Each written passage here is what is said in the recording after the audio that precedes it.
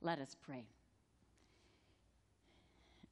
O gracious God, to you these words are for your glory and for the welfare of your people, that together we may grow deeper in faith and trust. For you are our living God. Amen. Being this is my last sermon at celebration, my parting words, you might say, I couldn't help but think of an Ole and Lena story, and the one about Ole's parting words to Lena. Maybe you've heard it. Ole is on his deathbed, and he calls over his beloved wife, Lena, and he says, Lena, ja, Ole, Lena, remember when we were coming over on the boat from the old country just after we were married and we had those terrible storms at sea and we lost everything, all our worldly possessions. Yeah, Ole, I remember, I remember. But Lena, there you were right by my side, right there with me. Yeah, Ole, I was. And Lena, remember when we sent both the boys off to war, but only one came back. Yeah, Ole. But Lena, there you were right by my side, right there with me, Ya Ole Ifaz. And Lena, remember when we had those terrible weather, no rain, no crops, eight, nine years in a row, nothing. Ya Ole. But Lena, you were right there with me, right by my side. And now here I am dying, and I'm on my last breath, and here you are again, right by my side. Lena, there's only one more thing I have to say to you. Ja, Ole, what's that? Lena, you're bad luck. well, those might have been Ole's words to Lena, parting words, but those are not my parting words to you today. My parting words, my sermon today can only begin with thank you. Thank you for 25 and a half years of ministry, for being such a wonderful place to do ministry, and for your faithful partnership in the gospel of Jesus Christ. How does one even begin to preach one's final sermon? How does one even try to capture 25 and a half years of ministry? I don't know. I've been wrestling with that the last couple of weeks. But I do know that today's psalm, Psalm 27, helps me out. Psalms are about life. They're about all the many and mixed and varied emotions and experiences we have in life. And they are so important. Martin Luther wrote the book of Psalms might well be called a little Bible. In it is comprehended most beautifully everything that's in the entire Bible. Here in the book of Psalms. So important. If you're visiting today, we are in our summer, first summer series, preaching series on the Psalms. This is the third of four weeks. And we've been learning that the Psalms come in many different flavors thanksgiving, praise, laments, trust. Two Sundays ago, Psalm 113, a psalm of praise. Last Sunday, a lament psalm, Psalm 69. How we can be brutally honest with God. And I love the praise psalms. I absolutely love the lament psalms. But I couldn't be happier with today's psalm assigned for today, Psalm 27. It is a beautiful, beautiful psalm of trust. I mean, is there anything better than Psalm 27, verse 1? The Lord is my light and my salvation. Whom shall I fear? The Lord is the stronghold of my life. Whom shall I be afraid? That beautiful psalm of trust is about what really matters in life. When my mother received the tough diagnosis of pancreatic cancer in the fall of 2004, she had to come down to the University of Minnesota for surgery, not to remove the tumor, they couldn't, it was so large. but it was a diversion surgery to bypass it. And my sister Carolyn and I were with her, and she was just about to be wheeled off to go to surgery. And it is this psalm, this psalm, that my mother began reciting just before surgery. The Lord, no Bible, of course, just began reciting, The Lord is my light and my salvation. Whom shall I fear? The Lord is a stronghold of my life. Whom shall I be afraid? I mean, it was the perfect time to recite that psalm. Pancreatic cancer is something that is a real threat in life.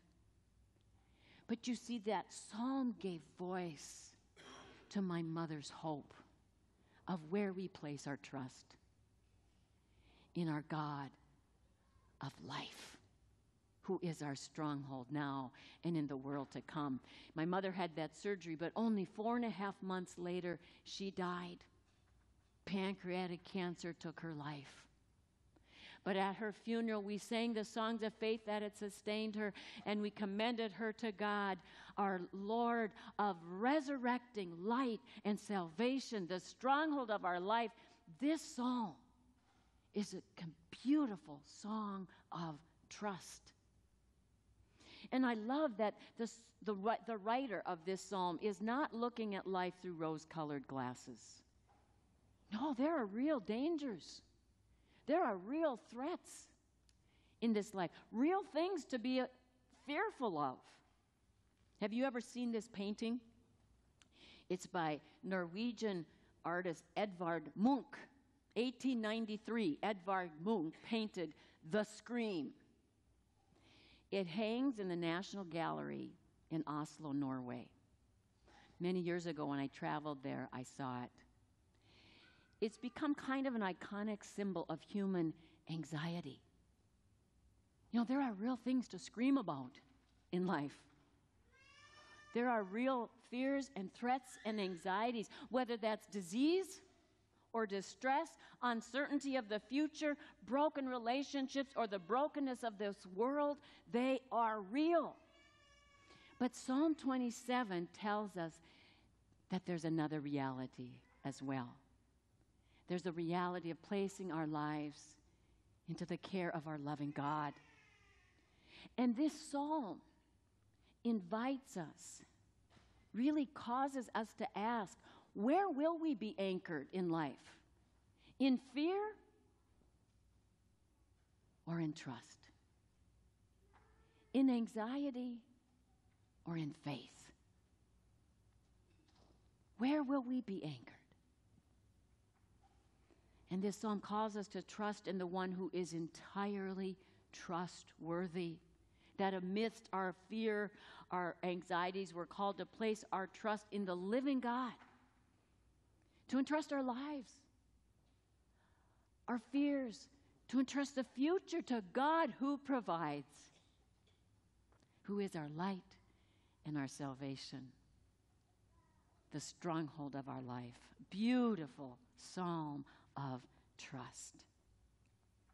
People have asked, well, how could you stay in a, the same congregation for so long? Well, many reasons. The celebration is just a great place to do ministry. But I also remember years ago reading a really tiny book written by Will Willimon. And Will Willimon is uh, out of the Methodist Church, bishop, a great preacher out of the Methodist Church. And he wrote a little book the title of it went something like, How Not to Burn Out as a Pastor. And I thought, well, I'm going to read that one. and I don't think I was feeling particularly burned out at the time, but I picked it up and I read it. And I remember one thing from that book that Willimon said, Here's your job as a pastor, your calling to turn people's lives to the living God. That's it to continually turn people's lives again and again to the living Lord. And I thought, that's good. And by God's Spirit, God's help, I've tried to do that. But that's what this psalm also is saying today that we're called to turn our lives again, to trust, to fall back into those arms of God who is with you, who is for us in love and grace, who is our light and our salvation, the stronghold of our life. Psalm 27 is just a beautiful song of trust. And today I also want to say thank you. Thank you for placing your trust in me as one of your pastors for 25 and a half years. Trust is the bedrock of all healthy relationships with God and with one another. And trust is what makes healthy ministry happen. So thank you. It has truly been such a humble privilege to walk with you and, enter into your lives at the times of greatest joy and celebration. We were just talking with about a wedding before I came in today. And also in the times of deepest sorrow and pain and loss. It is an incredible calling to be a pastor. I've told other people, you know, we can go to the hospital and do hospital visits. In one room, you might be holding a newborn infant, right, Pastor Jeff? Saying a prayer, a blessing of this new life. And in the next room, you may go and be praying a prayer commendation over someone on their last breaths. It is such a huge privilege. Thank you. And we've all grown a little older together in 25 and a half years. Here's a picture of uh, when we were ordained. Uh, Pastor Larry and I joined Pastor Tom Wright. Uh, here's Pastor Olson on the left. He, ord- he installed. Pastor Larry and I started together at Celebration. I was 70% time of the call. He was 35%. And uh, uh, just a few, within a few months, Larry jumped the river and uh, became mission developer at Living Waters.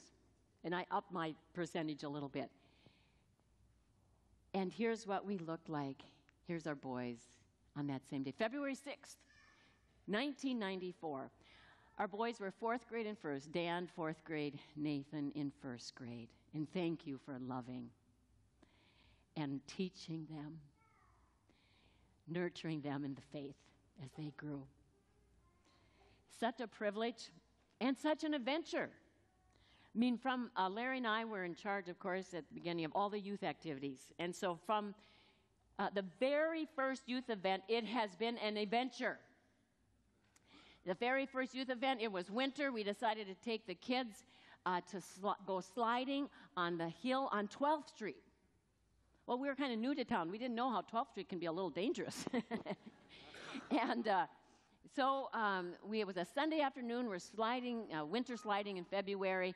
The kids did great, but Larry, on coming down the hill uh, on an inner tube, uh, hit a sharp chunk of ice. And it pushed up into his back so hard, and it was so painful, it caused him to black out and faint. He went unconscious, so he's unconscious at the bottom of the hill. Cliff Teigland, one of our adult leaders, who had just finished CPR training that two days before, rushes over and begins to administer mouth to mouth resuscitation. Larry wakes up, Cliff, uh, I'm okay. Somebody has called the ambulance, and Larry is now hauled off in the ambulance to the St. Cloud Hospital. You know, when ministry starts that way, you know it's going to be an adventure. and it has been. And thank you for that adventure, for bearing the light of Christ to my family and me, through all the joys and sorrows in these past 25 and a half years, and especially through the deepest of our sorrows and pain in the death of our beloved son, Daniel. It's hard for me even to say those words, but thank you. Your love and support and prayers and remembrances and gifts, the food train that went on for weeks, all such a reflection of the love of, of Jesus Christ, isn't it? For one another and for this world. And so I say to you today carry on celebration as our mission statement says celebrating, growing, and serving. Celebrating as we have called to lives of active and, and faithful worship and growing. Here's a mentor night, growing as faithful disciples. Here's VBS, and then serving. Here's one of our many food packs locally. And we always say this we, we serve locally and globally, always a both and. Here's our adult mission trip to the Dominican. You know, lots of times I, I like to, uh, and especially in wedding homilies, I like to have a, a uh, object and I thought, well, what could I use for an object today? Pastor Jeff, you want to help me there? You bet. And I thought, an anchor. because this psalm today, this is kind of heavy. I got to do a little, uh, a little more weightlifting in retirement. but the psalm today invites us. Where will we be anchored? In fear or in faith? In anxiety or trust? And we're called again to know that this Lord is with us and for us, who has been guiding us for these past years and will continue to guide celebration in so many awesome years ahead. This Lord who took on flesh, and as the gospel writer says, let the light shines in the darkness, and the darkness did not overcome it. That's our Lord who is shining on us today and who sends us out of here today to shine with the love of Jesus for the world. Celebration, I say thank you. My parting words are not like Ole's, but thank you and carry on. And come and follow in even deeper ways. Be anchored in the light of the world in Jesus Christ. And if you would please say with me, one more time this Psalm 27, verse 1. Let's say it together. The Lord is my light and my salvation. Whom shall I fear? The Lord is the stronghold of my life. Of whom shall I be afraid? A beautiful song of trust. Thank you. Thank you. In the name of the Father, and the Son, and the Holy Spirit, amen.